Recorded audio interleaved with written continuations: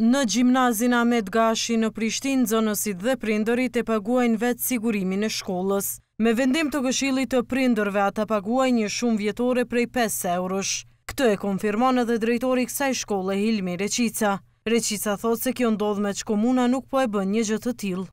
Kemi pas rast kur ka mbet një dy tre ditë shkolla pa sigurimin e shkollës, edhe për ato dy tre ditë kanë fillu përnjëherë të hyjnë mrenda objektit të shkollës kanë hy, po them huliganë, sepse s'i kemi ditë kush janë ato, kanë hy kanë sulmu nxënësit n'klasë, n'prezencën e profesorit, profesori është ballafaqu fizikisht me ta, derisa ka dalë. përjashtë, atëherë mendoj që profesori të hyjë të mbajë orën e mësimit apo të bëjë sigurimin mrena n'klasë.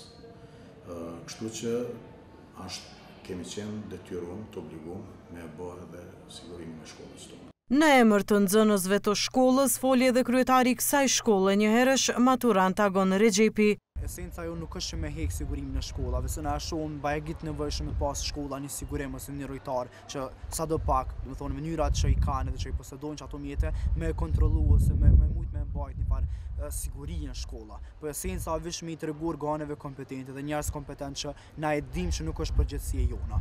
Drejtori i arsimit në komunën e Prishtinës thotë se kjo e fundit nuk ka pasur fonde të mjaftueshme, prandaj e ka lejuar një gjë të tillë. Kur është n'pytje sigurimi i fëmijëve, ne lejojmë edhe si si zgjidhje të përkohshme që prindërit të organizohen vetë, t'pagujnë një sigurim simbolik, për arsye se komuna nuk ka pas fonde.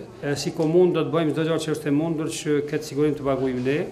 Fundi i fundit kryetari i komunës e ka paraqit projektin e vet për formimin e një kompanie publike e cila merret me sigurimin e ndërtesave dhe me punëtorë teknikë. Në shkollën Sami Frashëri, Ahmet Gashi, Xhevdet Doda, Eqrem Çabej dhe Gjin Gazulli, drejtorët kanë konfirmuar se kanë sigurim dhe atë e paguajnë nxënësit me vendimin dhe pëlqimin e Këshillit të Prindërve.